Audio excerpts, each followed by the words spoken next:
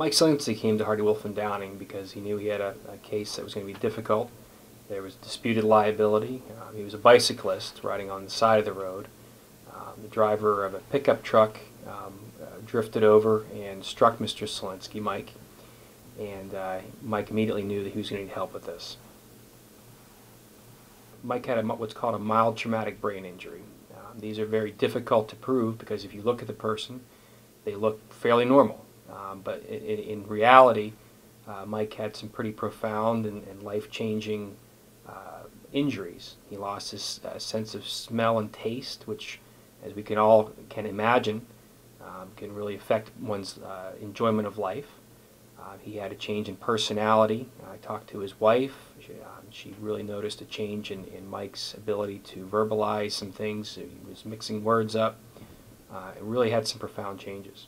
I ride my bicycle just about every day and I was riding down Main Street and I was on the side of the road and all of a sudden this pickup truck doing about 45 miles an hour ran right into the back of me and I went up on the hood of his vehicle and landed in the ditch of the road.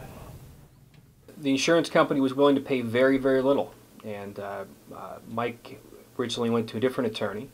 That attorney encouraged Mike to take a very minor settlement. That's when he called Hardy Wolf and Downing and decided to talk to me about doing better for him.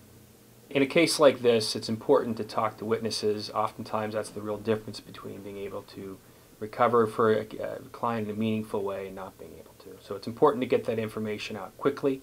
It's important to act upon it. Uh, it's important for an attorney to have all the information from a very early point in the case and being able to capture those facts. Hardy Wolf and Downing covered everything. Every time that there was any question, there, uh, you know, I'd call them up, but they had all the answers. I had all the confidence in all of them. It was uh, very, very good experience, actually. In case like Mike's, it was important for the insurance company to know that I was going to file suit, and I had every um, intention to.